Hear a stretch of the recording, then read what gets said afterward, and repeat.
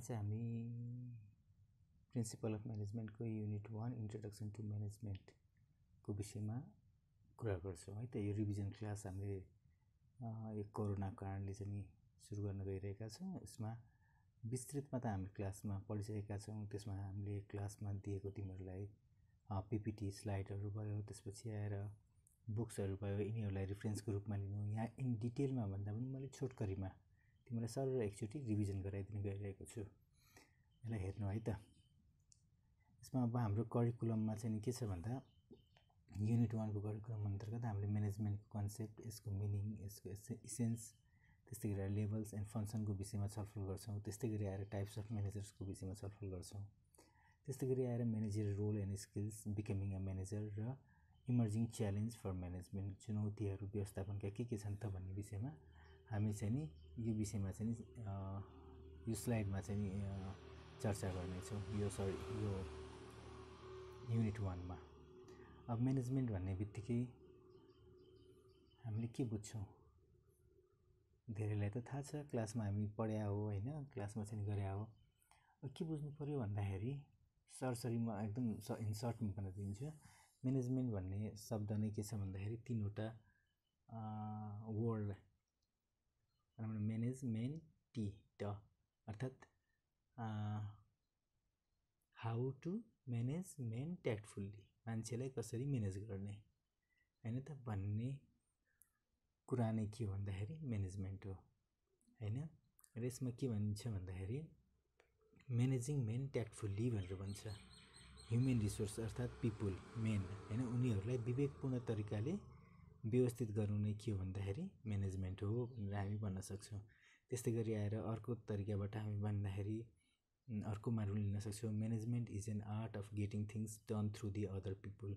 अर्थात् people human रिसोर्सेसहरूको उचित प्रयोग गर्दै अर्गनाइजेसनको लक्ष्य हासिल गर्ने कला नै के हो भन्दा म्यानेजमेन्ट हो भनेर पनि हामी भन्न सक्छौँ। र हामी क्लासमा पनि कुरा गरेका थियौँ। हरेक अर्गनाइजेसनहरूको के हुन्छ भन्दाखेरि आफ्नो लक्ष्य हुन्छ र हरेक अर्गनाइजेसनहरू त्यही लक्ष्य हासिल गर्नको लागि लागि परेका हुन्छन् लक्ष्य हासिल गर्नको निम्ति होइन? अब त्यो लक्ष्य हासिल कसरी गर्ने त भन्दा लक्ष्य हासिल गर्नको निम्ति विभिन्न किसिमको प्लानिङहरू बनाउने डिसिजनहरू लिने डाइरेक्टिङ दिने मोटिभेटिङ गर्ने लिडरसिप प्रदान गर्ने होइन? त्यसको सुपरभिजन गर्ने कम्युनिकेसन गर्ने आदि विभिन्न किसिमका कार्यहरू गर्नुपर्छ। हामीले त्यो लक्ष्य हासिल गर्नको लागि। र यिनै कार्यहरूसँग सम्बन्धित क्रियाकलापहरूलाई के भनिन्छ भन्दाखेरि हामी म्यानेजमेन्ट भन्छौँ भन्ने कुरा चाहिँ नि बुझ्नु पऱ्यो है? त्यस्तै गरी आएर अब हामी क्लासमा पनि धेरै डिस्कस गरेका थियौँ।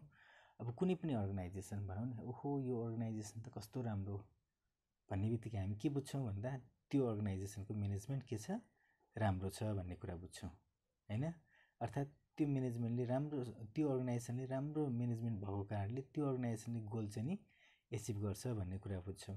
यदि कुनै पनि अर्गनाइजेसन जसको चाहिँ नि म्यानेजमेन्ट राम्रो छैन भने त्यो अर्गनाइजेसन गोल एचिभ गर्न सजिलै सक्दैन। होइन त्यस कारणले के बुझ्नु पऱ्यो भन्दाखेरि हरेक अर्गनाइजेसनलाई each and every organisation need management and management is importance for each and every organisation भन्ने कुरा चाहिँ नि हामीले ध्यान दिनु पऱ्यो है त र अर्को कुरा ध्यान दिनुपर्ने फेरि के छ भन्दाखेरि हामीले म्यानेजमेन्टमा कुरा गऱ्यौँ म्यानेजमेन्ट ट्याक्टफुल्ली होइन हामीले के मान्छेलाई कसरी म्यानेज गर्ने भन्ने कुरा आएछ म्यानेजमेन्ट भन्ने कुरा गऱ्यौँ तर यति मात्रै होइन है।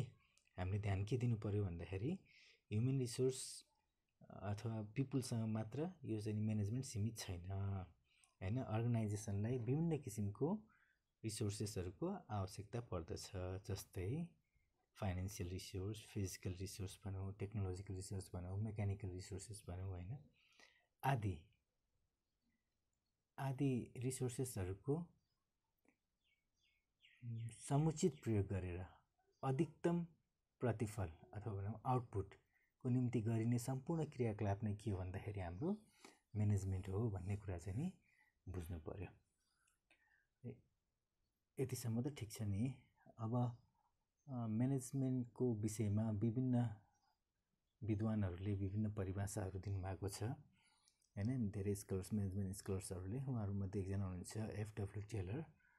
उहाँको अनुसार उहाँले के भन्नुभएको छ भन्दा management is principally the task of planning coordinating motivating and controlling the effort of other toward specific objectives. अर्थात् कुनै पनि विशिष्ट किसिमको उद्देश्य प्राप्तिको निम्ति योजना बनाउने समन्वय गर्ने उत्प्रेरित गर्ने तथा प्रयत्नहरूलाई नियन्त्रण गर्ने प्रमुख कार्यलाई नै व्यवस्थापन भनिन्छ भनेर उहाँले आफ्नो व्यवस्थापन सम्बन्धी परिभाषा यसरी दिनुभएको छ। त्यस्तै गरी आएर जर्ज आर टेरीका अनुसार उहाँले के भन्नुहुन्छ भन्दा management is a distinct process consisting of planning coordinating activating and controlling perform activities to determine and accomplish started objectives by the use of human beings and other resources. अर्थात् रिसोर्सेसहरू जस्तै human beings मानवीय र अन्य गैर मानवीय रिसोर्सको समुचित प्रयोग मार्फत कुनै पनि विशिष्ट किसिमको लक्ष्य निर्धारण गर्न तथा त्यस लक्ष्यलाई प्राप्त गर्न सञ्चालन गर्ने विशेष किसिमका प्लानिङहरू भनौँ अर्गनाइजिङ भनौँ कोअर्डिनेटिङ भनौँ कन्ट्रोलिङहरू भनौँ जस्ता कार्यहरू सम्मिलित प्रक्रि प्रक्रियालाई चाहिँ नि हामी व्यवस्थापन भन्छौँ भनेर उहाँले भन्नुभएको छ।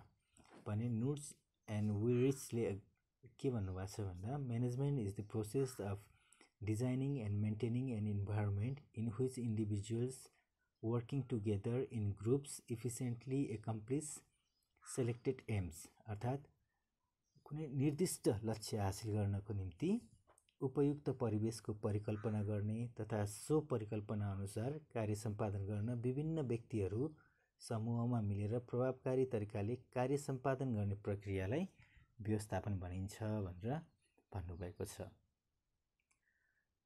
अब हामी जाउँ यसको क्यारेक्टरिस्टिक्सतिर क्यारेक्टरिस्टिक्स अफ म्यानेजमेन्ट अर्थात् व्यवस्थापनका विशेषताहरू। अब एक नम्बरमा छ गोल ओरिएन्टेड गोल ओरिएन्टेड भन्नाले लक्ष्य उन्मुख हुन्छ भनेर भन्छ। लक्ष्य उन्मुख हुन्छ भनेर किन भन्छ भन्दा हरेक अर्गनाइजेसनको के हुन्छ भन्दाखेरि आफ्नो लक्ष्य हुन्छ। त्यो लक्ष्य चाहे सर्ट टर्म हुनसक्छ चाहे त्यो लङ टर्म हुन्छ। र उनीहरूले के गर्छन् भन्दाखेरि आफूसँग भएको साधनहरूको रिसोर्सेसहरूको म्याक्सिमम् प्रयोग गर्दै त्यो अर्गनाइजेसनको लक्ष्यहरू प्राप्त गर्ने उद्देश्य कसले लिएको हुन्छ भन्दा म्यानेजमेन्टले लिएको हुन्छ। अर्थात् लिमिटेड रिसोर्सेस मार्फत म्याक्सिमम् प्रोडक्टिभिटी बढाउनको होइन? पाउनको लागि अर्गनाइजेसनले के गर्छ भन्दा उसको उद्देश्य हुन्छ होइन? त्यस कारण व्यवस्थापनको यो प्रमुख उद्देश्य नै म्याक्सिमम् आउटपुट प्राप्त गर्ने लिमिटेड रिसोर्स युज गरेर। त्यस कारण हामी भन्न सक्छौँ यो चाहिँ गोल ओरिएन्टेड हुन्छ भनेर है त? त्यसपछि दोस्रोमा छ आएर हाम्रो युनिभर्सल एक्टिभिटी युनिभर्सल एक्टिभिटीमा। अब यो म्यानेजमेन्ट भनेको तिमीलाई थाहा छ हरेक अर्गनाइजेसनहरूमा चाहे त्यो ठुलो होस् चाहे त्यो सानो होस् सबै अर्गनाइजेसनमाहरूमा आवश्यक पर्छ है? त्यस कारणले चाहिँ नि के हुन्छ भन्दा अर्गनाइजेसनको प्रकृति अनुसार चाहे त्यो अर्गनाइजेसन चाहे त्यो अर्गनाइजेसन सानो होस् अथवा ठुलो होस् अथवा कुनै ठाउँमा होस् होइन? कुनै ठाउँमा रहेको होस् होइन? त्यहाँ चाहिँ नि प्रक्रियाहरू त फरक हुन सक्लान्। ठाउँ र यसको नेचर अनुसार अथवा प्लेसले तर के हुन्छ भन्दाखेरि म्यानेजमेन्टको प्रिन्सिपल भने के हुन्छ भन्दाखेरि एकै किसिमको हुन्छ। त्यस कारण के हुन्छ भन् के भन्न सक्छु भन्दाखेरि यो म्यानेजमेन्ट चाहिँ नि म्यानेजमेन्टको सिद्धान्तहरू जुन छ यो चाहिँ नि विश्वव्यापी रूपमा होइन युनिभर्सल सर्वव्यापी कार्य हो भनेर चाहिँ हामी भन्न सक्छौँ। त्यसपछि आएर सोसियल प्रोसेस हो नि त होइन? अब चाहिँ नि व्यवस्थापन भनेको के भन्दा हामीले अघि नै कुरा गऱ्यौँ मान्छे हामीले म्यानेजमेन्ट भनेको मान्छेलाई कसरी म्यानेज गर्ने उनीहरूसँगबाट कसरी मिलेर काम गर्ने भन्ने कुराहरूको विषयमा हामी सल काम लिएर होइन हाम्रो उद्देश्य पुरा गर्ने भन्ने कुरामा छलफल गरिसकेपछि अब अन्त व्यवस्थापकहरूले के गर्छन् भन्दाखेरि जति म्यानेजरहरू हुन्छ उनीहरूले के गर्छ भन्दा उनीहरूले अरूसँग मिलेर काम गर्छ किन अर्गनाइजेसनको लक्ष्य हासिल गर्नको लागि होइन? त्यस कारणले गर्दाखेरि पनि यसलाई हामी के भन्छौँ भन्दाखेरि यो चाहिँ एउटा सोसियल प्रोसेस हो होइन? यसले व्यवस्थापकले चाहिँ के गर्छ भन्दा अर्गनाइजेसनको रिसोर्सेसहरूको प्रयोग गरी होइन? आफ्नो कर्मचारीहरूको पनि के गर्नुपर्छ भन्दाखेरि आवश्यकताहरू पुरा गर्नुपर्दछ। त्यस कारणले चाहिँ यो एउटा सोसियल प्रोसेस हो भनेर भनिन्छ। यस्तै डाइनामिक एन्ड मोडिफेबल एक्टिभिटिज भनेर भन्छ। यो चाहिँ नि व्यवस्थापन चाहिँ नि के हो भन्दा गतिशील र मोडिफेबल भनेको समायोजन परिवर्तनीय। के हुन्छ भन्दाखेरि व्यवस्थापनको सिद्धान्त सबै सङ्गठनको निम्ति हरेक समयमा के हुन्छ भन्दा एकै किसिमले उपयुक्त हुँदैन। होइन? मान्छेको विभिन्न किसिमको चाहना हुन्छ समयअनुसार परिवर्तन भइरहन्छ। त्यस्तै गरी तिमीहरूलाई थाहा छ नि एक्सटर्नल इन्भाइरोमेन्टले गर्दाखेरि पनि के हुन्छ भन्दाखेरि परिवर्तनशील हुन्छ भन्ने कुराहरू चाहिँ राख्नु पऱ्यो त्यसपछि आएर के भन्छ यसले भन्दा डिस्टिङ प्रोसेस भनेर भन्छ। अर्थात् यो चाहिँ के भन्दा भिन्न अथवा विशिष्ट किसिमको चाहिँ नि प्रक्रिया हो भनेर भन्छ। यसले के भन्छ भन्दा म्यानेजमेन्ट होइन अथवा व्यवस्थापन विशेष प्रक्रिया अवलम्बन गर्ने भएकोले व्यवस्थापनलाई चाहिँ नि एउटा अलग्गै प्रक्रियाको रूपमा चाहिँ के गरिन्छ भन्दा व्याख्या गरिन्छ भन्ने कुरा चाहिँ नि बुझ्नु पऱ्यो त्यस्तै गरी आएर यसले बोथ साइन्स एन्ड आर्ट्सको कुरा गर्छ। होइन व्यवस्थापन चाहिँ के भन्दा साइन्स विज्ञान र कला दुवै हो। विज्ञान किन हो भन्दा यो चाहिँ सर्वव्यापी सिद्धान्तमा आधारित हुन्छ त्यस कारणले चाहिँ यो